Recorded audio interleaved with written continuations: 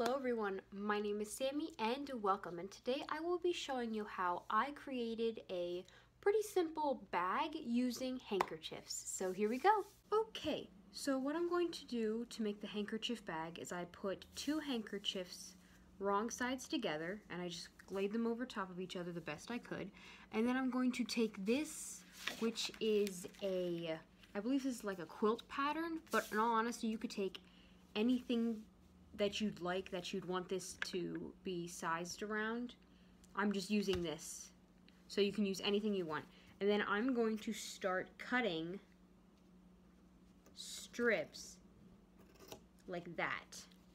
And I'm just going to do that all the way around and I'm going to stop somewhere up here. I will show you where I stop them, but as of right now, I'm just taking it and I'm just cutting it into pieces. Okay, so I cut slits all around these edges and then I left maybe probably like a good, it's probably a good inch by inch square right here and I did not cut the top edges.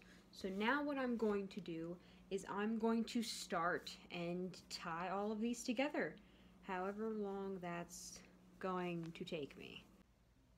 Alright, so I managed to finish tying up all of the ends, and now the last thing I'm going to do, so this bag has a handle, is I'm going to take the edges that I did not cut, and I'm going to cut them. no, but I'm going to cut them in a certain way that they have a handle. So I'm going to cut them both like this, and then cut right across. Okay, so, alright, so what I did was I took the handkerchief and I cut it in the middle and then cut across. And then what I'm going to do is I cut a hole here. I'm going to thread this part through and then I'm going to tie it.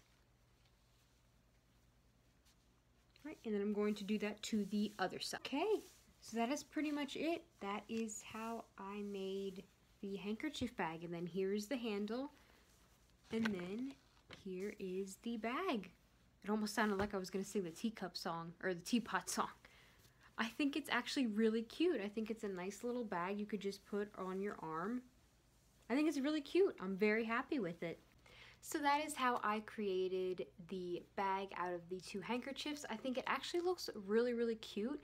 It definitely looks like it was DIYed, which is kind of the look that I feel it's going for, or I was going for. So I'm pretty happy with it. So that is all for this video. Thank you so much for watching. Please make sure to like and subscribe, and I will see you all next time. Bye!